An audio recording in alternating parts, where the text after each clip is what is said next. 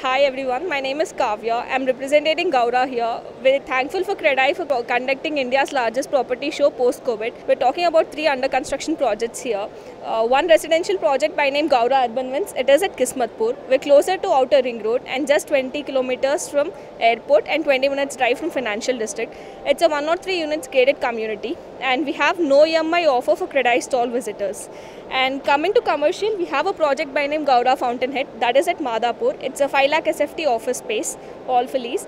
And the second project is by name Gowra Palladium. It is at Rayadurgam. It's a 1 million SFT office space. We're closer to all the landmarks of Hyderabad. We have a project at Uppal. It's a 12.6 land acre. It's a mixed use development of commercial and residential. Residential real estate hasn't been much affected. People are looking for safe investment options now and they are preferring to pay EMIs over rent.